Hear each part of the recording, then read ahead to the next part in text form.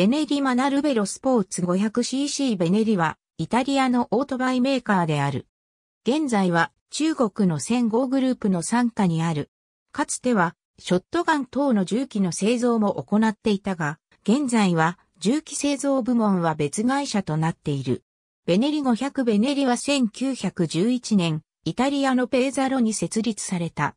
未亡人であるテレサ・ベネリは、6人の息子の将来を考え、財産のすべてを投資して、ベネリ社を設立した。最初は、車とオートバイの修理専門のベネリ修理工場といった程度の規模であったが、歩道なくして修理用のパーツを自社で製作するようになった。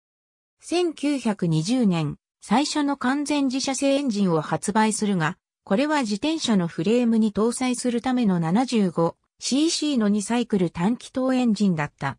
1921年の終わりにはこのエンジンは 98cc まで拡大され、これを搭載したベネリ社最初のオートバイの製造を開始した。2年後、トニーノ・ベネリが競技仕様の自社製オートバイを使ってレースを始める。トニーノはライダーとして並外れた才能を見せており、テストライダーとしてもオートバイの開発と生産に大いに貢献していた。トニーノは1927年、1928年、1930年、1931年とベネリ175を買ってイタリアチャンピオンとなった。ところが、翌1932年、レース中の不運なクラッシュによって、トニーノのレーサーとしてのキャリアは終わりを迎え、さらに5年後の1937年9月27日、つまらない交通事故によってトニーノは命を落としてしまった。第二次世界大戦が迫りつつある中、ベネリ社はスーパーチャージャーを搭載した 250cc、4気筒のレース用マシンをデビューさせた。これは1939年のマンシマ、TT レースのライトウェイトクラスでベネリの 250cc マシンが優勝したのを受け、連覇をかけて1940年のマンシマに送り込むために開発したマシンだった。しかし、戦争が始まってしまったために、この4気筒マシンはイタリア国内のレースを戦うのみに終わった。トルネード 650S ベネリ125コブラ戦争によって工場が破壊されたため、ベネリ社は1949年まで生産を再開することができなかった。生産再開した時も戦前の古いデザインのモデルを元にしたものだった。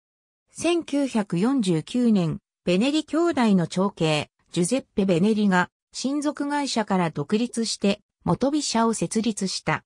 1951年までに、ベネリは、排気量 98cc と 125cc のラインナップを持つレオンチーノと呼ばれる小型軽量モデルと 350cc と 500cc の短気筒モデルを販売していた。レオンチーノはさらに2サイクルエンジンと4サイクルエンジンの選択が可能なモデルで手頃な輸送手段が求められていた戦後のイタリアにおいて大成功を収めた。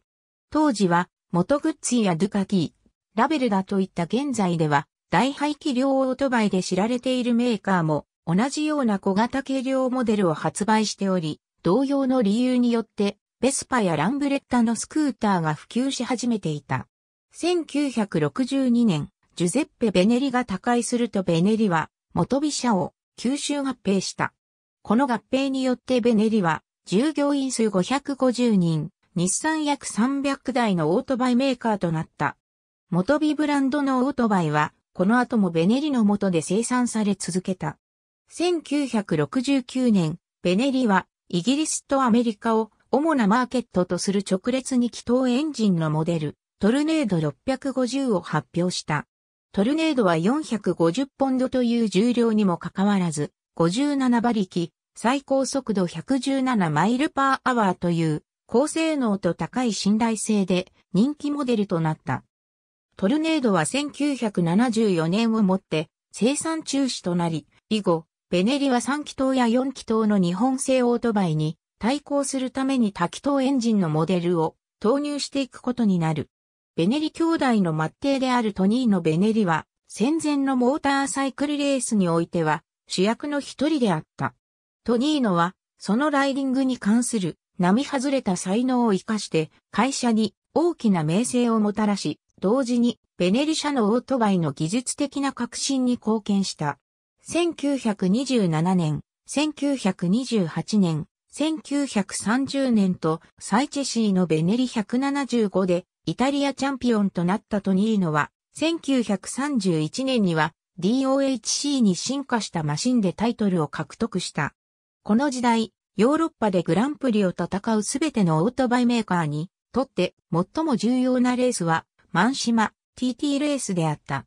ベネリも例外ではなく、1939年、ベネリ250がテッドメローのライディングによってマン島初優勝を飾った。第二次大戦を挟んだ1950年には、同年のイタリアチャンピオンと世界チャンピオンを獲得したダリオ・アンブロジーニがマンシマでも勝利して自身のタイトルに花を添えた。1960年代には二人の偉大なライダーがイタリア選手権でベネリのマシンを買って活躍した。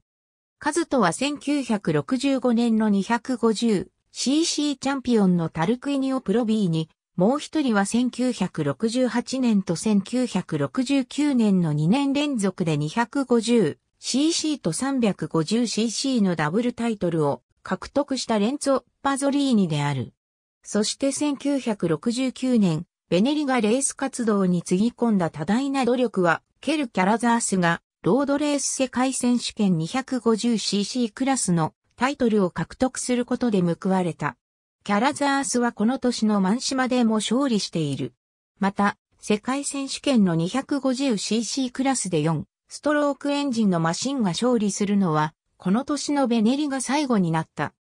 他にも多くの有名なライダーがベネリのマシンでレースをしており、その中にはマイク・ヘールウッドやヤーノ・サーリネンも含まれる。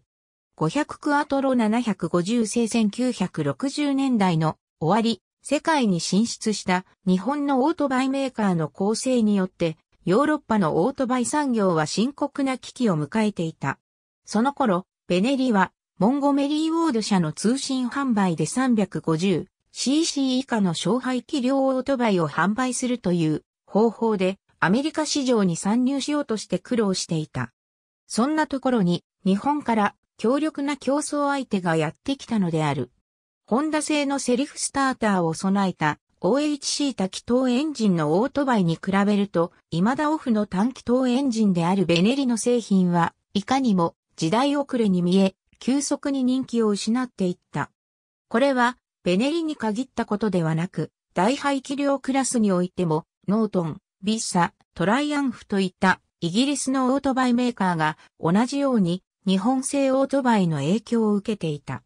こうして経営不振に陥りつつあったベネリは1973年、かつてのライバルであった元グッチと共に、アルゼンチン出身の実業家、アレハンドロ・デトマソによって買収された。デトマソ参加となったベネリは、4気筒の350クアトロや500クアトロ、そして日本製のマルチシリンダーエンジンに対抗するため、直列6気筒の750製を発売した。これらのマルチシリンダーエンジンは、ホンダ CB500 系の OHC にバルブのエンジンを半に設計されたものと言われている。技術的な進歩はあったものの、1980年代のベネリのオートバイは様々な問題を抱えており、ついに1988年、会社は元グッチとの合併によって、グッチベネリ元 SPA となり、ペーザロの生産工場も売却されて、ベネリブランドのオートバイは消滅した。トルネード900トレ TNT1300 1989年に、ベーザロのマニファクチュアオーナーであるジャンカルロ・セルチの支援によって、ベネリブランドが復活するという噂があった。しかしこの計画は実現せず、ベネリの本当の復活には、もうしばらく時間が必要だった。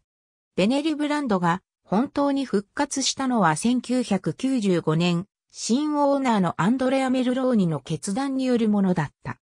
1996年には、スクーターブランド、アディバを立ち上げた。2002年には、フラッグシップモデルとなる、スポーツモデルトルネード900トレと、同モデルのロードスタータイプ TNT をリリースした。同年に、ルノースポールとの OEM 提携により、ルノーキャンパス、ルノーフルタイム、ルノースペシメン、ルノークラノスのブランド名でスクーターを製造していたが、2003年にルノースポールがスクーターからの撤退を発表と同時に OEM を解消し、製造中止となった。モータースポーツの世界にも復活を遂げており、2001年にオーストラリア人のピーター・ゴダードのライディングにより、トルネード900をスーパーバイク世界選手権に参戦させた。